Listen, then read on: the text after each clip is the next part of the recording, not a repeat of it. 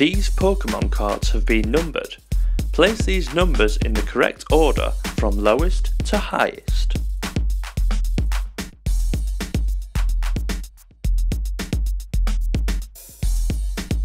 This Pokemon has a health point score of 3580. What does the 5 digits represent? Growlithe has 6000 health points. He loses 1000 health points when attacked by another Pokemon. How many health points does he have now?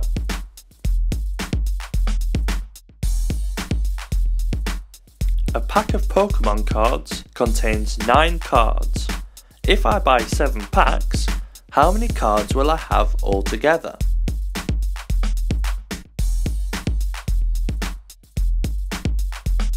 Look at these Pokemon cards. What fraction of the Pokemon cards are red fire types?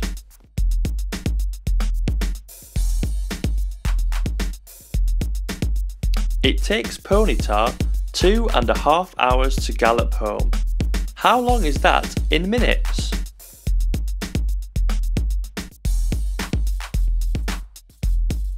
Look at the grid. What are the coordinates for Squirtle's position on the grid?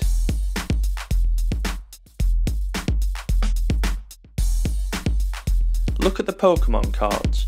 What fraction of these Pokemon cards are yellow electric type Pokemon? Give your answer in its simplest form.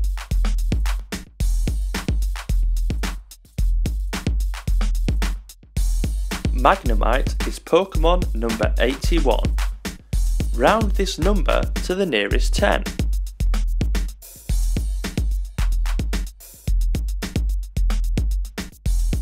Pokeballs cost 30 pence each.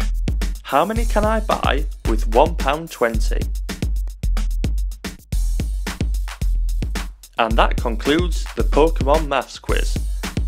Now it's time to mark your answers.